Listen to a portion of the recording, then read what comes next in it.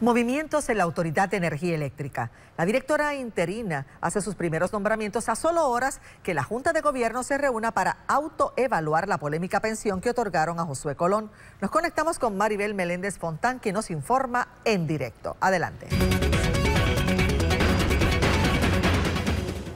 Charito y amigos televidentes, muy buenas tardes. Como mencionaba Charito, los nombramientos que ha hecho Sonia Miranda, directora interina de la Autoridad de Energía Eléctrica, ya ha provocado reacciones y prácticamente han dado de qué hablar. Y es que se cuestiona cómo es que ha llenado una serie de sillas dentro de la autoridad cuando está ocupando el puesto de forma interina. Conmigo se encuentra el presidente de la Unión de Trabajadores de la Industria Eléctrica y Riego, Ángel Figueroa Jaramillo. Gracias por acompañarnos. ¿Estos nombramientos son a destiempo a su juicio? Bueno, el punto de vista de una persona interina, definitivamente suena que no deben darse, pero a su vez también cuando evaluamos que los que están actualmente o estaban actualmente en, los, las posiciones son gente de la pasada administración de Josué Colón, pues obviamente había que dar haber un cambio para poder darles continuidad al trabajo. Lo que sí es preocupante es que la Junta de Gobierno tuvo la oportunidad de, evaluar un candidato de forma permanente en lugar de interina. Se habla de hecho de Carlos Castro, quien fue nombrado director de generación, y del ingeniero Juan Alicea.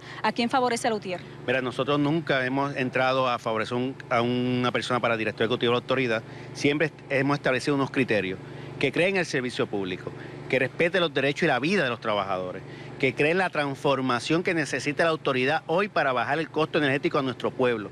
Si una, esa persona tiene esos criterios, esa visión de frente, obviamente hay que ser evaluado y considerado seriamente para que ocupe esta posición. ¿Alicea eh, reúne esos requisitos? Al menos Alicea eh, estuvo en planificación, eh, estuvo en generación, conoce la autoridad completa, puede ser una persona unificadora dentro de la autoridad, dentro del respeto que pueda tener. Obviamente hay que evaluar el desempeño y cómo la Junta de Gobierno le da la libertad para que pueda hacer un trabajo un trabajo él o cualquier director ejecutivo.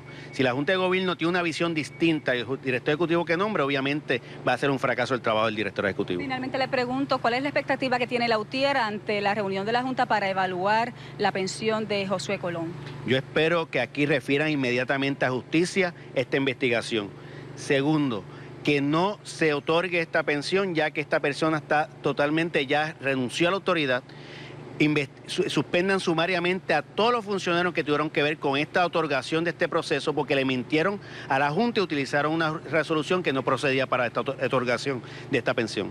Muchísimas gracias a Figueroa Jaramillo. Amigos, toda la información que tenemos en directo desde la sede de la UTIER han sido Pablo Gastambide y Maribel Meléndez Fontán. Continuamos con más de Telenoticias.